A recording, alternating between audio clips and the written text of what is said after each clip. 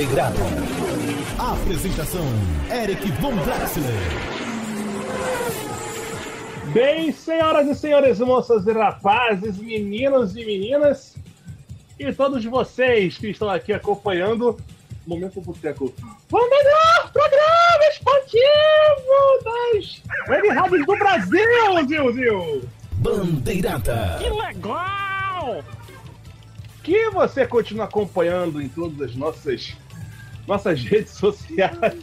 É sério, o pessoal que, acompanha, que, que acompanhou o Boteco, é, eu, falava muito, eu falava muito essa voz no meio do programa, do nada, porque era pra não surtar, né? Porque estamos naqueles dias, estamos acabando tudo, né?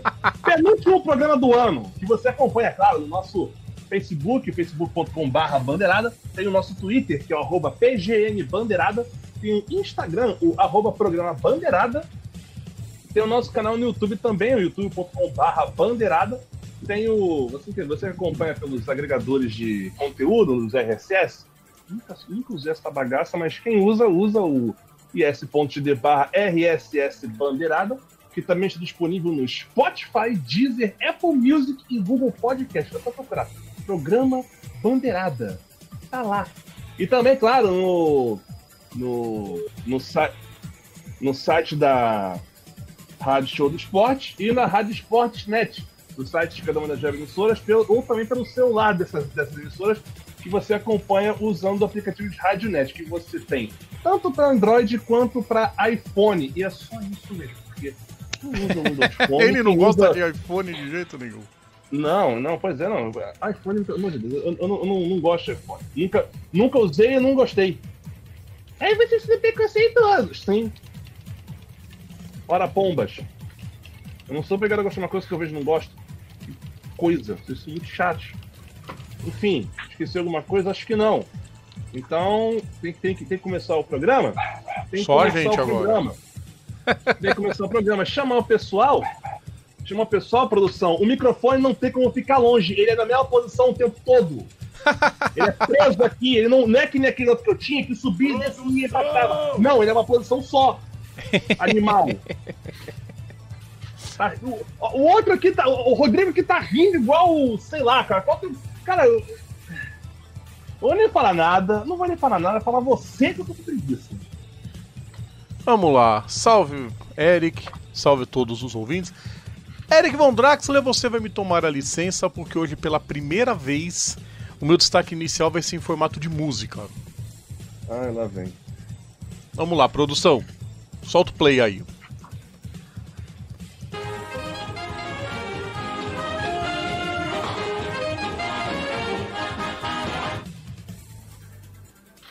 É esse o meu entendi. destaque.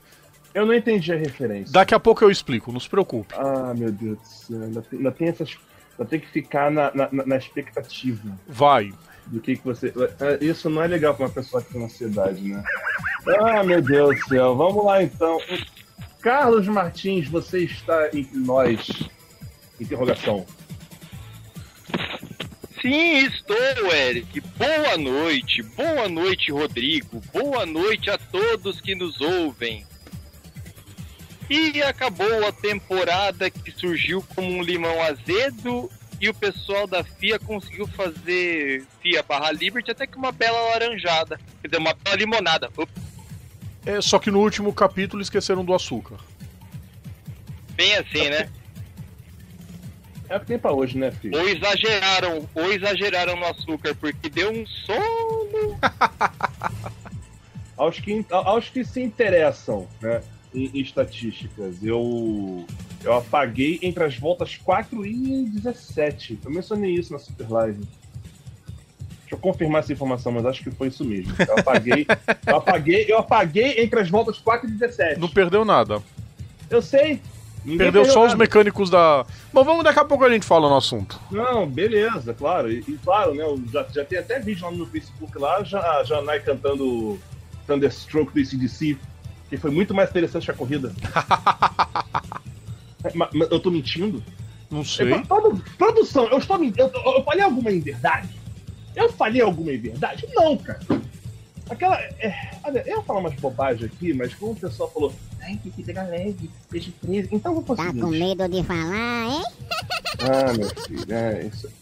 Vamos lá. É... E pior que assim, e pior que a gente não vai te falar. Se for o que eu tô pensando, a gente não vai falar de Fórmula 1 agora. Vamos deixar aqui para depois. Vou deixar aqui para depois. Uh, porque se for o que botar aqui, acho que tem coisa mais legal pra gente falar. O, o rapazinho aí que tá aí na, na, na mesinha de som, aquele botãozinho ali, escrito play, ap aperta, mas com gosto. Endurance. Porque tivemos nesse final de semana a Intercontinental GT Challenge, às 9 horas de Kyalami. É... É... é... Não, vocês, vocês, vocês, vocês falem. Posso dar a largada? Por favor. Vou dar largada então. Por quê? Porque é o seguinte, nós tivemos nessa é, nessa semana o encerramento da Intercontinental GT Challenge, né, que seria é, um campeonato para Gran Turismo, né? Só que só com as provas longas. Pois bem, deixa eu soltar aquela vinheta, aquela que todo mundo gosta, aquela que todo mundo capricha. Cadê? Ah, Isso, sabe por quê? Porque nós tivemos o Brazuca campeão. Augusto Farfus venceu às 9 horas de Kyalami e de quebra levou o título. Era um ano muito complicado para ele. Ele tinha perdido a vaga que ele tava na no WTCR. Ele perdeu a vaga na Hyundai, não correu esse ano a temporada. Não tava correndo mais na ele não estava correndo mais no DTM, já fazia dois anos. E o futuro estava meio incerto. Bom, estava meio certo. Eu Mas quero tava dizer. Certo, tava certo ou tava incerto? Por favor, decida-se. Não, o, o futuro estava incerto. Aham. Aí ele passou a ficar meio certo, porque ele foi confirmado pela BMW para correr praticamente em todas as provas longas. Ele seria o piloto reserva oficial em todas as provas que precisassem de um terceiro ou de um quarto piloto. Aham. E aí a gente pode dizer que ele encerra o ano da melhor forma, Eric. Venceu as 24 horas de Daytona. Ó, só pelo EtherTech. Ele venceu as 24 horas de Daytona. Foi terceiro na Petit Le Mans e terceiro nas 12 horas de Sebring. Já encerrou a primeira parte com gosto, Ok. né? Bom, aí ele correu também pelo EC. Foi nono nas 6 horas de Spa e sexto nas 24 horas de Le Mans, porque o carro teve problema. Ele teria conseguido coisa melhor. Aí, para completar a cereja do bolo, ele correu também às 4 horas de Spa na Europa Le Mans Series pela Aston Martin. Ele conseguiu mais um pódio. Certo? Para completar a, a- a glória toda, simplesmente o seguinte, Eric. Ele ganha às 9 horas de Kyalami. Já tinha ganho também Deixa eu pegar os resultados das Não, 24 horas. tô- Não, dos 24 horas em Nürburgring dele. Ah, tá. Eu quero, eu quero ver o desempenho nesse ano dele. Porque foi espetacular o desempenho geral dele. Que estava entre os, os principais pilotos, né? Brigando pela, pela vitória. E chegou na terceira posição. Em Nürburgring, em Spa, na prova desse ano, não teve tanta sorte. Acabou quebrando logo no início.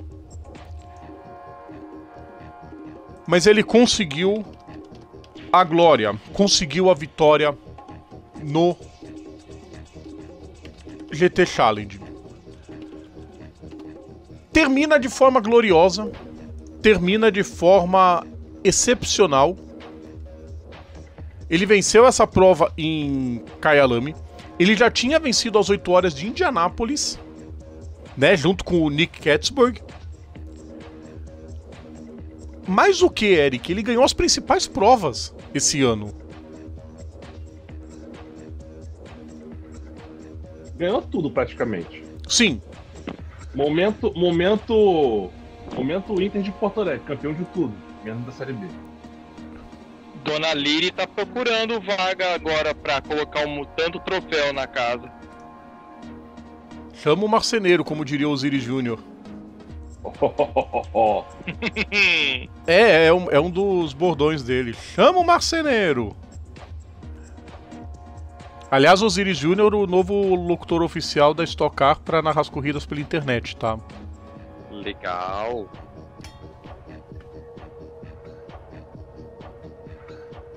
O que mais que a gente pode falar? Vamos lá. Eu queria falar Ah, que o, Nossa. Só que o Frederic Vevich, o Bortolotti e o Wirtz terminaram em segundo. Terceiro lugar para o Matt Campbell, Patrick Pillet e Mathieu Jaminet.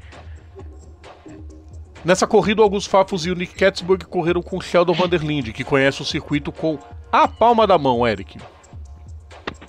Isso é. Mora do lado aqui- também, né? Vizinho. Vizinho. Como eu chego no circuito de Kyalami? Cinco minutos a pé com um copo de café e remela nos olhos. É por aí. Remela nos... Remela nos olhos é legal.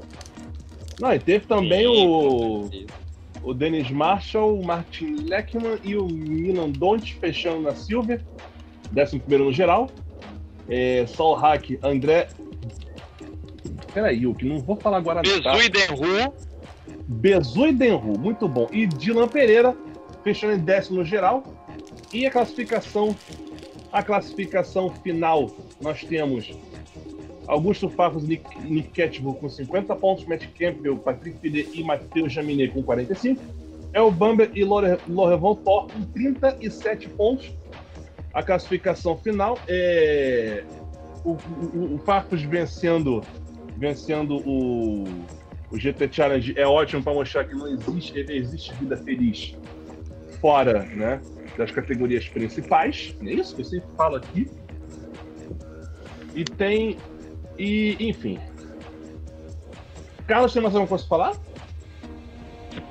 Cara, é, é, mesmo uma tempo, num ano meio louco, meio tenso, teve provas sensacionais, cara. Uma delas às 8 horas de Indianápolis. Cara, Imagina se, se consegue se conseguem colocar também o, o WEC ou então o WeatherTech prova de endurance na em Indianápolis. Imagina, velho. Imagina. Uhum. Ia ser, ia Muito ser um bagulho muito interessante. Né? Isso aí, claro, a gente vai aguardar as próximas, as os próximos episódios, né? Então a gente fechou por enquanto, né? 2021 vem aí, já com o calendário definido, Eric. Então, tem aí? Pode passar? Posso, vou passar rapidinho pro pessoal, só pra gente fazer aquele pequeno giro. Vamos lá, estão assim, quatro provas marcadas. Por quê? Não vai ter as 12 horas de Bathurst no ano que vem. Porque ainda vai estar a restrição na Austrália, então não vai ter a corrida. Começa com as 24 horas de Spa, né? Que é junto com o, o GT World Challenge Europa. 31 de julho a 1 de agosto. Aí 21 e 22 de agosto, 8 horas de Suzuka, de volta ao campeonato. 16 e 17 de outubro. Oi? Aí sim! Sim. Aí 16 e 17 de outubro, 8 horas de Indianápolis. E em dezembro, sem data definida ainda, às 9 horas de Kyalami, são as 5 provas. 4, né? Teria as 12 horas de Bathurst. Mas as 4 provas confirmadas para 2021, Eric. Aí sim. Então, então, dando sequência aqui ao nosso, ao nosso programa, né? É, antes de prosseguir com o próximo assunto, é, um parênteses aqui. né? Tem a ver com o próximo assunto, mas não, não, não tão diretamente. Saiu um anúncio aqui agora, é, é, nessa semana. A EA anunciou a compra da Cold Masters. Para quem tá boiando, o que, que, tem isso a ver? Estamos falando da empresa que faz os jogos oficiais da, da Fórmula 1. Tem feito isso desde 2009, se eu não me engano. Né?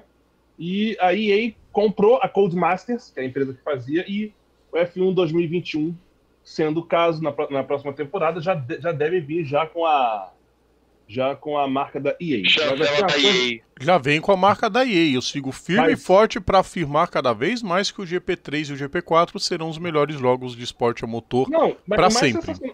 Exatamente, agora vai ser assim, precisa fazer o pit stop, 50 reais. GTE mercenária.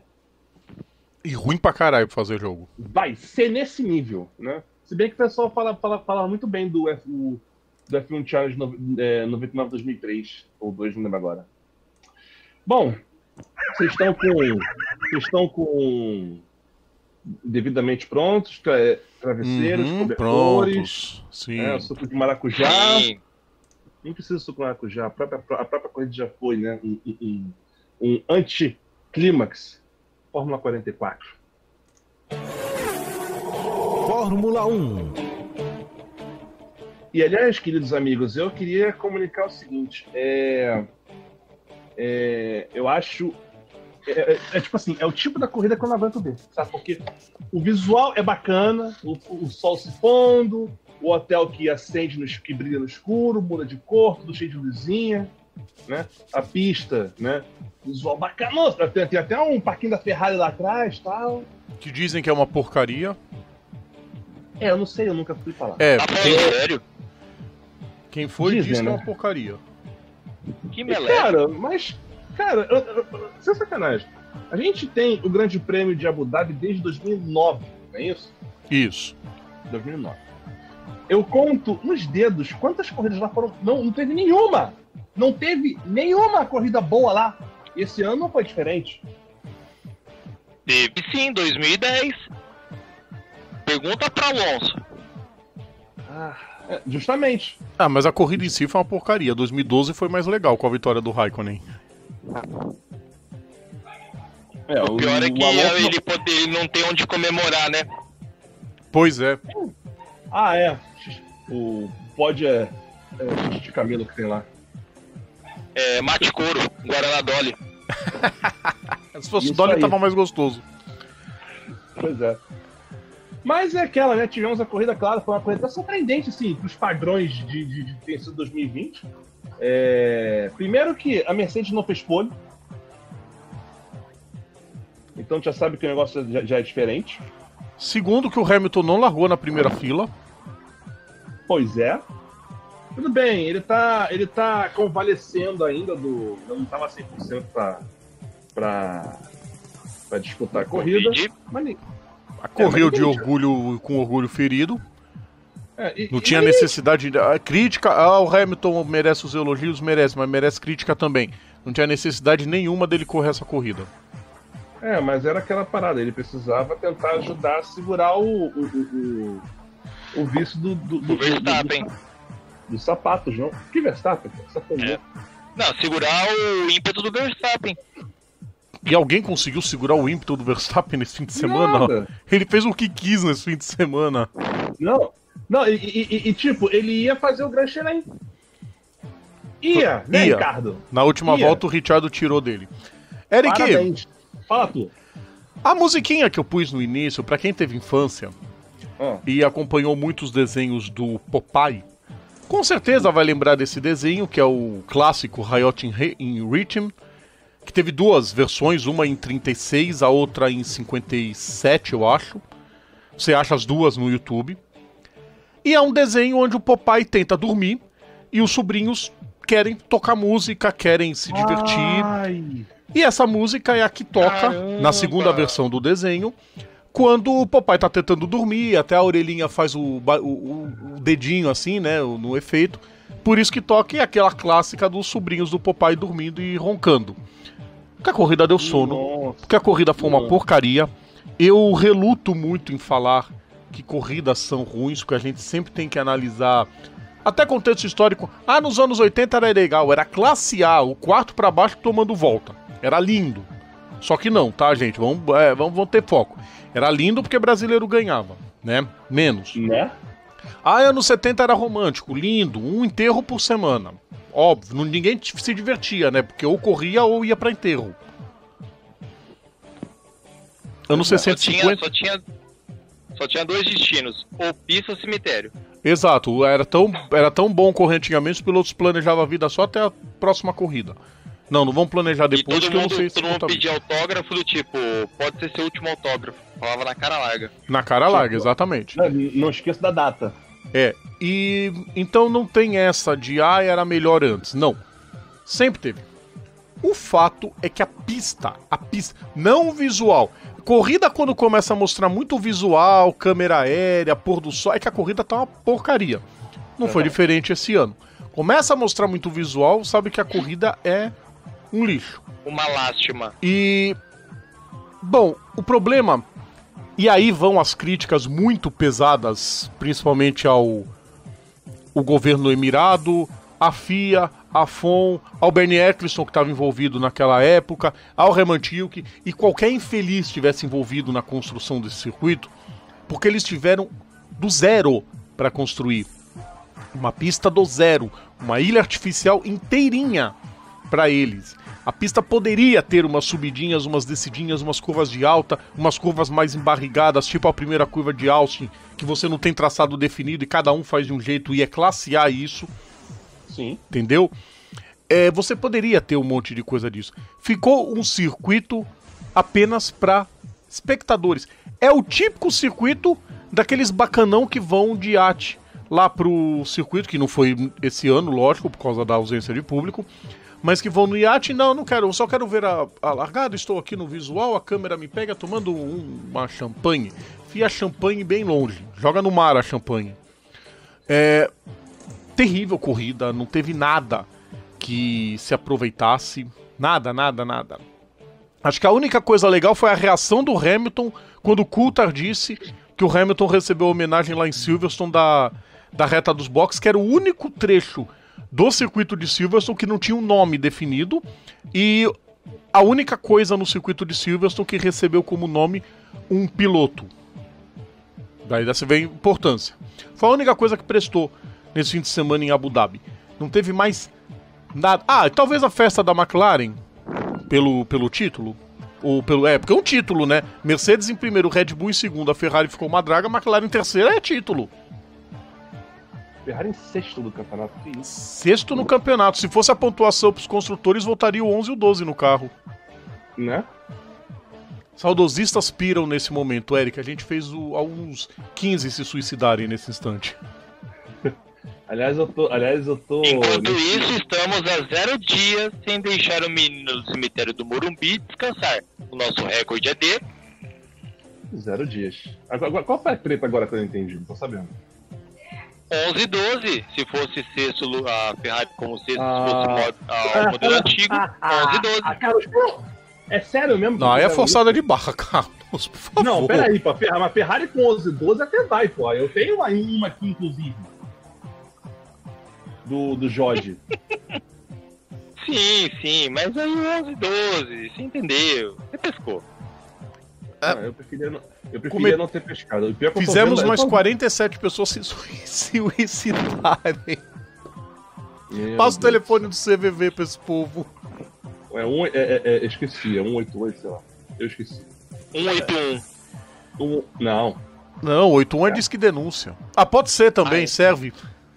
Ah, cara. Aliás, Eu quero me aliás, morrer. o momento, aliás, os momentos mais emocionantes dessa corrida, eu diria que foram as despedidas de Sebastian Vettel e Carlos Sainz no rádio, né? A do Vettel foi sensacional. A do Vettel foi um soco no estômago.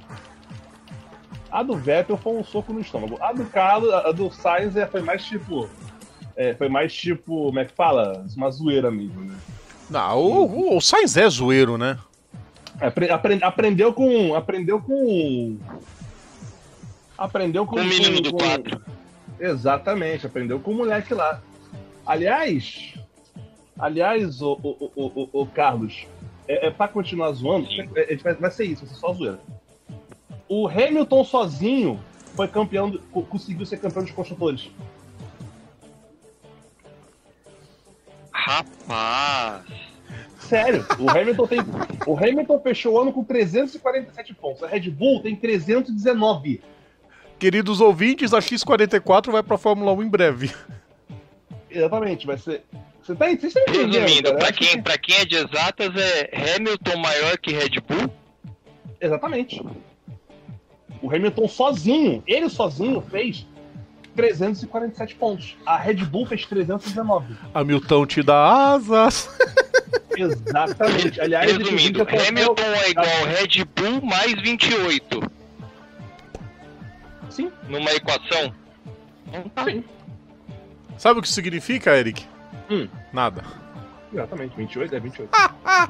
Não, significa. Não, pior- e o pior que significa. Significa que a- a- a- a- as equipes conseguiram ser tão incompetentes esse ano que eu não me lembro.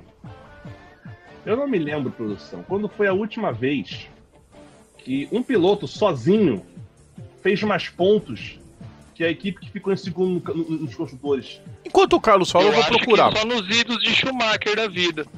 Deixa eu procurar.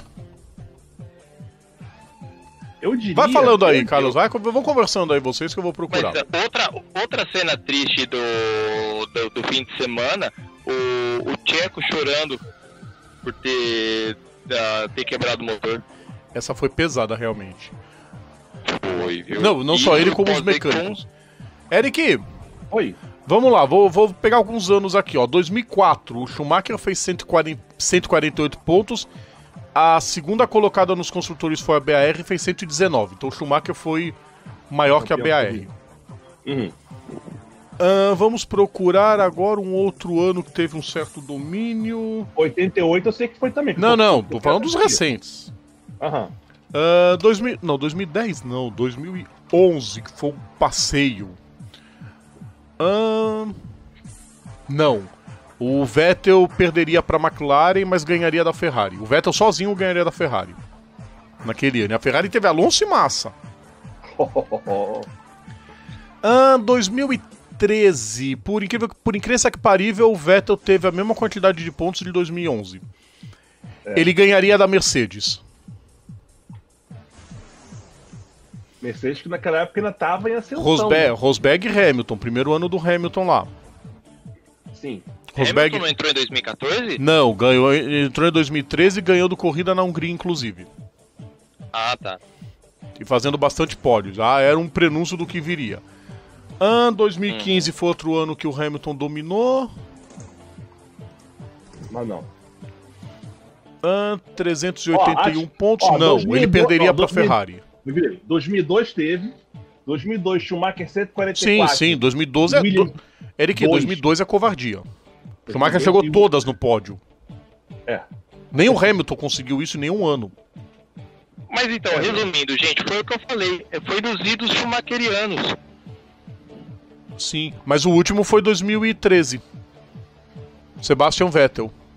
Mais Não. pontos. Ah, Ah, útil. Sim, o último. 2013? Quer dizer, o último agora foi o Hamilton, né? O penúltimo foi o Vettel. Em Antes 2013. dele tinha sido o Vettel. Não, e tô vendo várias aqui. 96 o Rio, o, o Rio, o Rio fez mais pontos que a Ferrari. O Ah, mas não era muito difícil naquela época al- alguém fazer mais pontos que a Ferrari, né? A Ferrari só e quebrava. o Villeneuve, né? Sim. Os dois. No- no- 2018 foi um passeio do Hamilton, mas ele conseguiu ficar atrás. Ele só ficaria em quarto no campeonato. Caraca. É, a coisa não é tão fácil assim, não. É verdade. É, é isso aí, queridos ouvintes. 2013, o último ano que um piloto chegaria em. Seria campeão de construtores sozinho. É, Ele sozinho seria campeão de construtores. Que insano. mano insano, exatamente. agora. E George Ru- Russell no momento volta pra abóbora? Até que ele fez uma corrida honesta. Não, sim, que dava, sim, né? mas imagina ele, ele assim, tipo, cara, eu tava com um canhão, eu tava com uma bela carruagem, agora eu voltei pra abóbora. Ô, pessoas, é o seguinte. Tá muito claro já pro ano que vem que a Haas vai ser a Ferrari B oficial. Sim. É oficiosa, né, que a gente chama, não pode. Mas tem um monte de gente saindo da Haas e indo pra. Ou saindo da Ferrari e indo pra Haas. E já assumiram que em 2022 vai ser produzida ela em Fiorano. Sim. É, não duvidam, porque existem fontes extraoficiais, corre a boca pequena que a Williams vai ser equipe B da Mercedes. Agora rapidinho falando de Haas. Mazepin exclamação, Mazepin interrogação ou Mazepin ponto e vírgula fora. O Mazepin, tclin, tclin, tclin. É. É a única explicação plausível. Porque a- Sim, o F só vai, ele vai ficar por causa dos milhões. São 50 milhões que papai tá levando pra ele. A Fórmula 1 se vende por dinheiro. Tudo na vida tem um preço, seja ele quanto for. Quem tá envolvido na Fórmula 1 é disposto a pagar. Bonito fez a Mercedes que vetou ele nos testes pra novato. Porque novatos, modo de dizer, né? Novatos e desocupados. É, que colocaram o De Vries e o Van, e o Não, não é por causa disso, é por causa do correr. É do Buemi na Toro Rosso, do Alonso, ah, ah, do. do, do É Kubica, tá, até o Kubica foi fazer teste. Era o sete câmara. O piloto de teste era o sete câmara, só que sete câmara para Dragon, o substituto imediato é o Buemi ainda. O piloto vai ser o Tsunoda. O, Kive, o Daniel Kivet entregou o ouro nessa corrida. O piloto vai ser o Tsunoda. O contrato já está assinado segundo o Daniel Kivet. Vamos ver se ele acertou ou se ele blefou. Será? Quase certo. Né? Não foi colocado na Carlin à toa. Ah, cara, mas é aquela, né? O, o- agora. É... Curioso é que assim, a, a lista, de, a lista de inscrição da FIA que, que a FIA soltou agora nesse, final de semana tinha o Hamilton na Mercedes, agora não aparece. É porque ele não tá assinado o contrato ainda. Não tá confirmado. Será? Dizem que não. A Mercedes diz que não. Eu acho, assim, eu, eu tô chutando aqui agora, cara. Eu acho que ele, ele, ele, ele, pega esse ano pro oitavo título e vai pra casa. Cara, se ele não for pra casa agora, depois de Covid e tudo, não, não duvido. Quem imaginava o Rosberg largando tudo do nada? Eu não duvido mas- do Hamilton seguir igual. Eu não sei também, cara. Ele vai, ele vai tentar É pegar, acho tipo, sem o vitória. Hamilton sem- ainda Ah, provavelmente vai querer sem É, mas vitória. tá tá pegar, sem sem vitórias, vitória, sem o oitavo título, pra ele é, abocanhar tudo que é tipo de recorde. Ah, isso pode ser- a isso pode ser realmente, vitória E não- o oitavo título, tchau. É, eu não duvido disso, de repente. Mas, sei lá, de repente ele tem na cabeça que ele quer dar uma aproveitada de outras categorias. Ele já disse que quer disputar uma prova em Daytona, na NASCAR, quem sabe, né? Eu não duvido essas coisas. A, a- a aguardar pessoas. né? Só pra, então só pra entrar completar. na- entrar no lugar do, do piloto que tá na, na, na Extreme 44. Isso se ele não resolver também brincar um pouquinho lá. É, Correr umas falando, 24 horas de Le Mans. Eu- Você vê que acho que o Hamilton não é Também. piloto profissional, ele é piloto de Fórmula 1. Não sei se ele daria certo em outras categorias. É Aliás, eu tipo piloto, quando- é tipo piloto de NASCAR, entendeu? É piloto de NASCAR, não é piloto. Nós vamos descobrir esse ano se o Jimmy Johnson vai andar bem na Indy pra gente chamar de piloto. Senão vai ser piloto de NASCAR. Tem ninguém da É igual NASCAR que ao Raikkonen, quando o Raikkonen tentou o WRC não foi tão bem. Piloto Na de NASCAR, Fórmula 1 não também. dá, pra, não, dá pra de- não dá pra definir que ele correu uma prova só. Então, tipo, e, come, e terminou na posição que largou. Sim. E capotou várias vezes também. Uhum. Bom, nada de cons... Você viu que a corrida foi tão boa que a gente não falou da vitória do.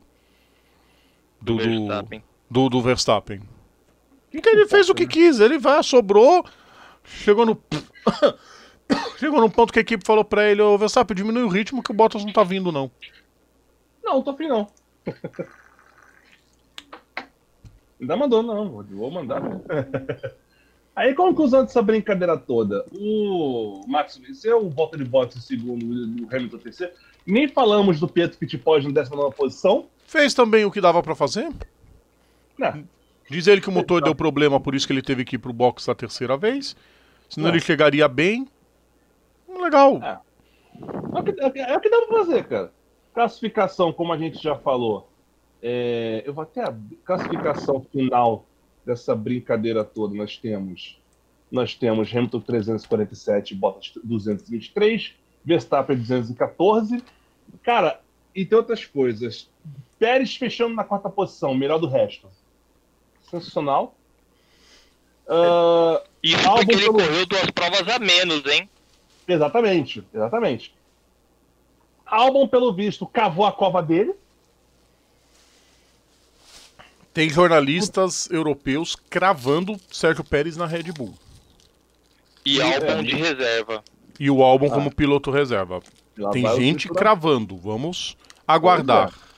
Pois é. E fechando aqui os construtores: Mercedes 573, Hamilton 347, Red Bull 319, McLaren fechando o terceiro lugar com 202 pontos. A, a, a, a, a Race, e, aliás, parabéns para a Racing Point que conseguiu, mesmo com a Renault que- eh, questionando a legalidade do carro, né, da Racing Point, a Racing Point só ficou na frente deles, mesmo com 15 pontos a menos. Quer dizer, o carro é uma bosta e eu tenho pena de que vai pegar aquela bomba na próxima. Ah, o carro Temporada. evoluiu no fim do ano. É, Evoluiu. Né? Pra deleite de Fernando Alonso. exatamente. Ali. Falando em Fernando Alonso, foi um momento legal do fim de semana, né? É Quando ele né? pegava É o carro de saideira. 2005 para dar umas voltas, todo mundo parava para ouvir o ronco delicioso do V10. né? Aí o pessoal bota esses Sim. motor de. Aí, vou, aí a gente vai ter de novo as viúvas de barulho de motor. Os Mais V10 17 pessoas querendo se jogar de qualquer prédio. Ah, não, agora já foram os etc. 215. Ai, meu Deus do céu. Olha só, eu, eu não tô afim de discutir sobre isso agora. Vamos encerrar o bloco, e para variar já estamos estourando o tempo. Então vamos dar uma pausa, dar uma respirada, a gente já volta.